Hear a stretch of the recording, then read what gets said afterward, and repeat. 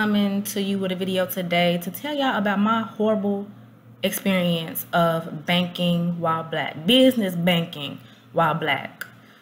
I took a minute before I made this video or posted it because I was very emotional and I was kind of sorting my emotions out about this situation. But this happened last Saturday, May 27th of 2023. Um, a couple of days prior, I made an appointment with Byline Bank in Wicker Park. If you all know anything about Chicago, you know Chicago is super segregated still, unfortunately. Uh, Wicker Park is like a sort of like a hippie neighborhood, but still kind of ritzy and upscale. Okay, so I made an appointment um, to open a business checking account for two of my businesses. Um, so I made that ahead of time. I arrived to my appointment early, like I was standing outside waiting for about a couple of minutes prior to the branch manager coming to open the door. He let me in, I sat down, waited for about maybe like 10 to 15 minutes um, prior to someone coming to, you know, help me. Um, so the banker, the young woman, I'm going to make the assumption that she was a Latina woman.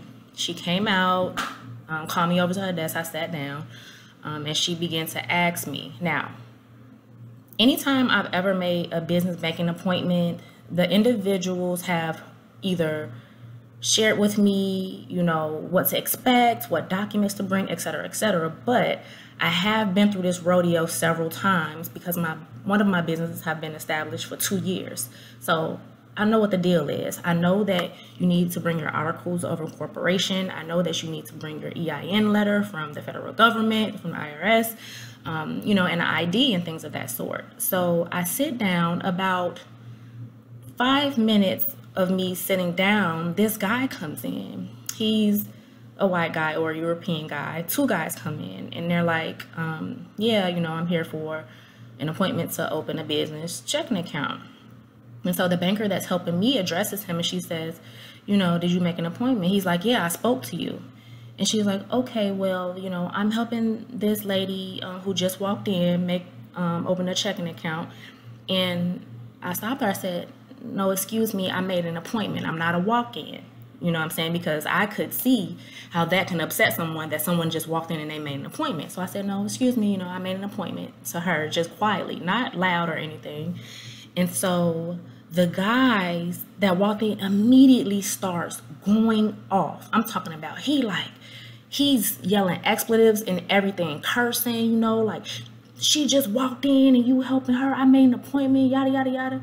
So this goes on for a few minutes. It leads to the gentleman just storming out of the branch. The gentleman, both gentlemen stormed out of the branch. And so um, I told the lady, I said, excuse me, you know, you just told that man I was a walk-in. I made an appointment. And she goes, when did you make the appointment?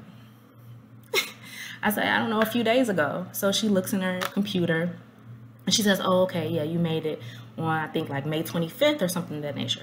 I said, yeah. She's like, oh, well, you know, I was at a training, so I wasn't aware. First of all, that's not my issue. You understand what I'm saying? You got a training, cool, but if you have clients on your calendar, you should still be aware of what you have on your calendar. That's just professional. You understand what I'm saying? So I'm like, all right, cool, whatever. So she get back to it. She started asking me for my documents um, the documents that I'm producing and giving to her, she's basically telling me that that's not what she needs. Like from my articles of incorporation, which I pulled down directly from the um, Secretary of State website. She's like, no, I need them with like a ink signature. Um, it come, you know, you send it to the state, they send it back with this signature. So she pulls out an example. And I'm just like, you know, I've never seen that. Like I have my articles, I, I file them on an annual basis as I'm supposed to. This is what I have. So I emailed them to her, um, right? And so she, she, um, she gets the email and then she gets to asking me, um, you know, I guess she looks at my address and I, my I stay in Bronzeville, but mind you, I'm in Wicker Park. So she's like, "Is this the branch that you that you intend to bank at?" And I'm like, I was like, "Yeah." The whole time, y'all, I'm even tone, polite, everything. I was like, "Yeah." She was like, "Oh, okay. Um, are you sure there's not one closer?" Whole time, I'm like, "No, this is this is the closing." And I told her, I said, "You know what? I actually have." Airbnbs in this neighborhood, so I frequent this neighborhood often, although I don't reside. And she's like, oh, okay, well, I'm just, I was, and I asked her, I said, why are you asking me that? Oh, I just want to make sure that we will be your bank, that I will be your banker. I said, okay, cool.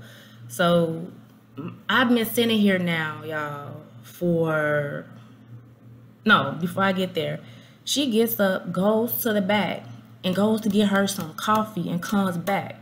Didn't say excuse me or anything, but just the unprofessionalism of getting up in the middle of our session to go get you some coffee. I ain't trip crip.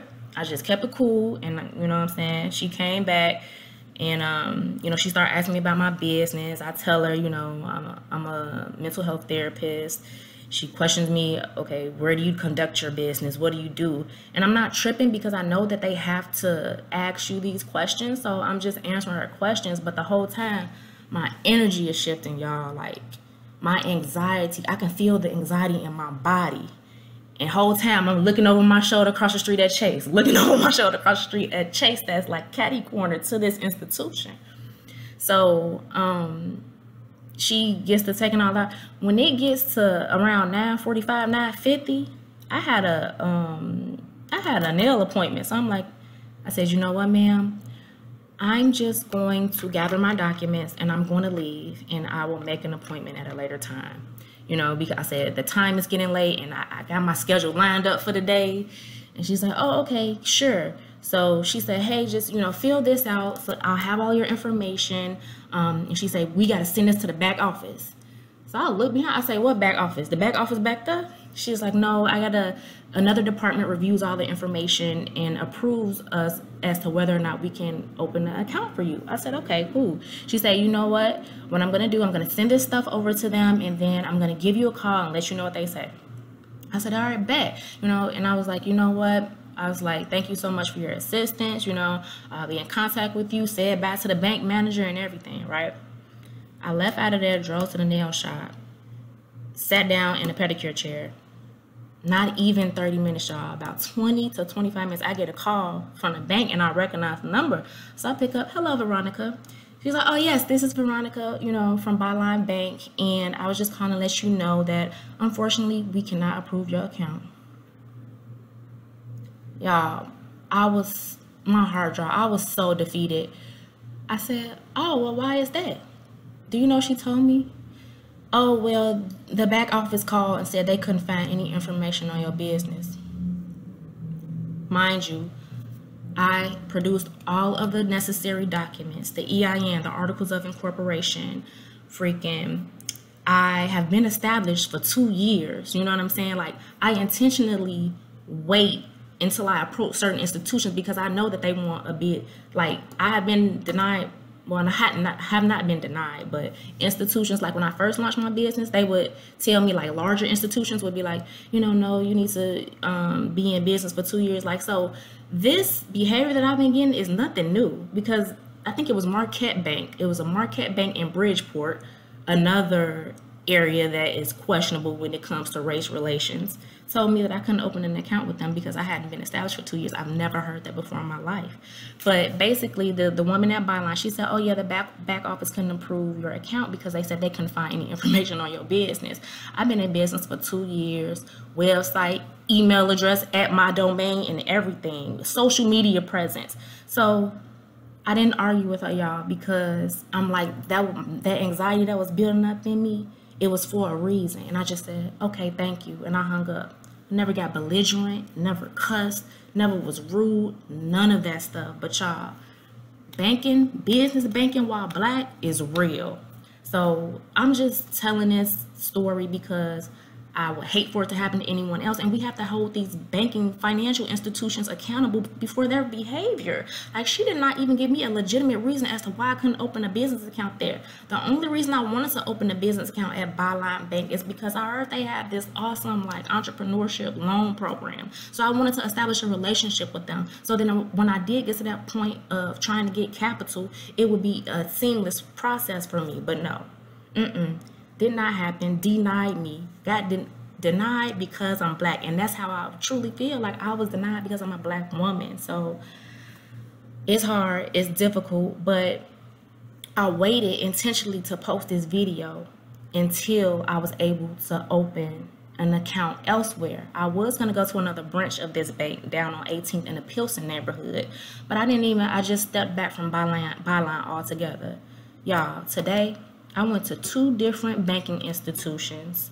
Um, I went to People's Bank and I went to CIBC Bank. Opened up both of my business accounts, no problem. I was in and out of there 30 minutes. Do you understand what I'm saying? Like, just be aware, um, be cautious, and keep your cool. Like, do not react the way that they want for us to react or expect us to react. Hold your cool, hold your peace, remain professional because at the end of the day, what's for you is for you, and can't nobody stop that or block that. You understand what I'm saying? So, I hope my experience um, helps someone. I do plan to go to the um, Better Business Bureau on their asses on Byline Bank in Wicker Park because there was no legitimate reason for them to deny me a business bank account. For real, for real. So, all right, y'all. Peace. Later.